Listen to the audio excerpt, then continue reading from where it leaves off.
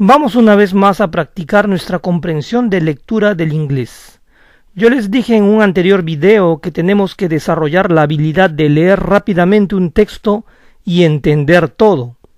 Al tener esta habilidad se van a dar cuenta que cuando la gente hable, ustedes estarán haciendo el mismo ejercicio, pero ahora es auditivo, y verán que esto les va a ayudar a entender completamente el mensaje. Yo voy a explicar detenidamente cada parte del texto. Empecemos con un texto algo complejo. Aquí se va a hablar de la tormenta de invierno llamada Stella o Winter Storm Stella, que ha azotado en estos días la parte noroeste de los Estados Unidos. Recuerden que storm es tormenta en general, pero blizzard es tormenta de nieve, también llamado snowstorm. En términos meteorológicos, watch es una alerta de que hay grandes posibilidades de que ocurra un fenómeno atmosférico Warning es una advertencia, pero en cierto modo las posibilidades son menores de que ocurra. Advisory es una recomendación de estar precavido a algún fenómeno, pero el peligro es muchísimo menor. El Servicio Meteorológico de los Estados Unidos se llama literalmente el Servicio Nacional del Clima. Weather es clima. The National Weather Service. Veamos la siguiente parte. Ha significativamente degradado o bajado de categoría. Has significantly downgraded. La advertencia de tormenta de nieve para la ciudad de Nueva York. The blizzard warning for New York City. A una recomendación de clima de invierno. To a winter weather advisory la cual estará vigente hasta alrededor de las ocho de la noche, which will be in place until about 8 p.m. Una observación. Alrededor de se puede expresar por about y también por around. Las autoridades dijeron el martes por la mañana alrededor de las ocho. Officials said Tuesday morning around 8 a.m la acumulación de nieve, the snow accumulation, la cual se esperaba que alcance hasta los dos pies, which was expected to hit up to two feet. Dos pies es alrededor de 61 centímetros. Probablemente se amontonará a menos de 8 pulgadas. Will likely stack up to fewer than 8 inches. 8 pulgadas son alrededor de 20 centímetros. Recuerden que likely es igual a decir probably, probablemente. La nieve se volverá granizo a mediados del día. The snow will turn to sleet by the middle of the day. Antes de continuar, quizá algunos se preguntarán, ¿pero granizo no era hail? En realidad, hail es el granizo que cae durante una tormenta cuando el clima no es tan frío. Y además el granizo es más grande en este caso. Sleet es el granizo que cae cuando el clima es más frío y el granizo es más pequeño. Continuemos en la penúltima línea. Y entonces lluvia por la noche and then rain by nightfall. De acuerdo a las autoridades del clima, according to weather authorities. La advertencia de tormenta de nieve, sin embargo, the blizzard warning, however, permanece en efecto para las otras partes del estado de Nueva York, remains in effect for other parts of New York State y para el resto del noroeste, and for the rest of the northeast. A medida que la tormenta de invierno Estela continúa atacando incesantemente a la región.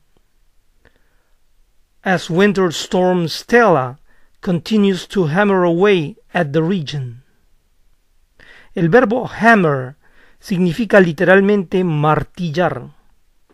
Away aquí da la idea de incesantemente, sin parar, una y otra vez.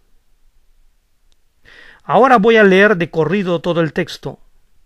Recuerden que tienen que entender el texto. La clave está en entender la idea y no exactamente la traducción de cada palabra. Si no entienden, pues necesitan ver otra vez la explicación. Aquí vamos. Winter Storm Stella.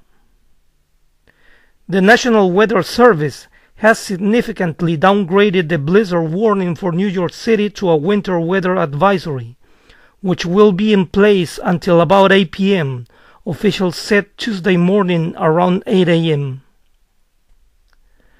The snow accumulation, which was expected to hit up to 2 feet, will likely stack up to fewer than 8 inches. The snow will turn to sleet by the middle of the day and then rain by nightfall, according to weather authorities. The blizzard warning, however, remains in effect for other parts of New York State and for the rest of the Northeast as Winter Storm Stella continues to hammer away at the region. Ahora veamos un texto más informal. Esta es la definición en Urban Dictionary o diccionario urbano una página sobre slangs o jergas de Ratchet, una jerga por una mujer descuidada que se cree que es una mujer muy atractiva. Una diva, mayormente de ciudades urbanas y guetos. A diva, mostly from urban cities and ghettos, que tiene motivos para creer que ella es un placer para los ojos de todo hombre. That has reason to believe She's every man's eye candy. Desafortunadamente, ella está equivocada. Unfortunately, she's wrong. Señales típicas de las cuales hay que cuidarse. Typical signs to beware of. Incluyen, pero no están limitadas a. Include, but are not limited to. Antes de continuar, el verbo blare es hacer un ruido estruendoso. En la siguiente línea se ha omitido el pronombre she. Ella toca a todo volumen cualquier cosa de Drake, Nicki Minaj, Gucci Mane. Blares anything by Drake, Nicki Minaj, Gucci Mane o cualquier otra basura de rapero del mundo del entretenimiento or any other garbage entertainment rapper. Antes de continuar con la primera línea, weave es el tipo de extensiones que se adhieren al pelo, muy usado para referirse a las pelucas que las mujeres de raza afroamericana usan.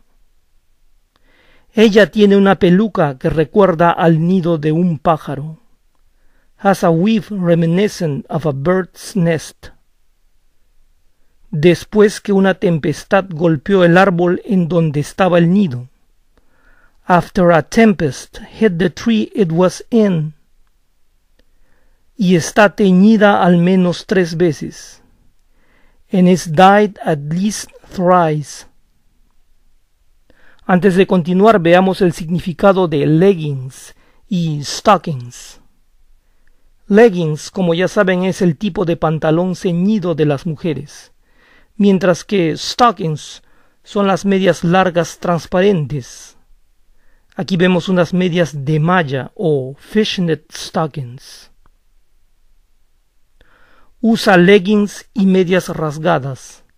Wears torn leggings stockings. Mayormente del tipo malla. Mostly of the fishnet variety.